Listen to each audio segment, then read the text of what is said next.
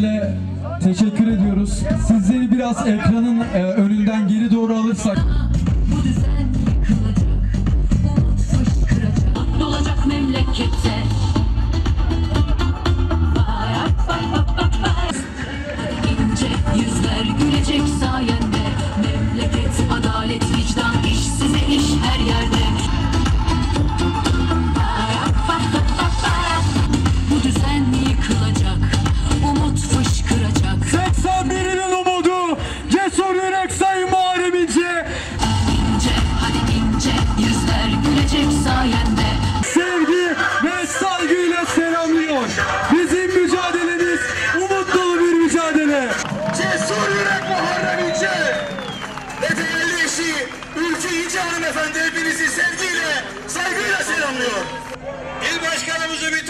Size. Cüneyt Bey sizi bir yukarıya alalım, bir selamlayın lütfen.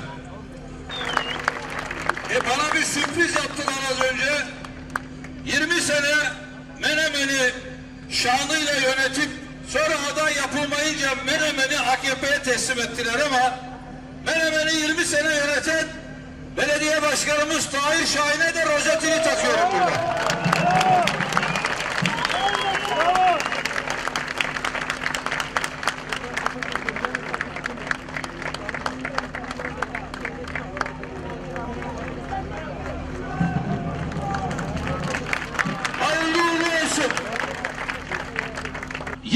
20 yıldır AK Parti'ye oy verip bugün yeter artık.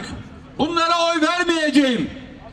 Ama elim diğerlerine de gitmiyor diyenlere sesleniyorum. Senin yerin tam memleket partisi. Gel buraya gel. Biz atadan dededen Atatürkçüyüz. CHP'den başka partiye oy vermeyiz. Kerhen oy veriyoruz CHP'ye. Ne yapalım? AKP mi gelsin? Özellikle İzmir'de çok var bu İzmir'de.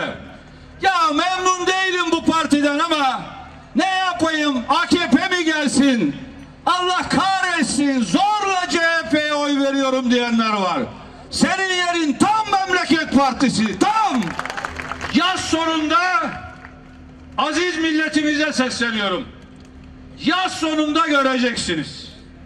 Bir yaz sonuna bakın, sonbahara, bir de yılbaşına bakın.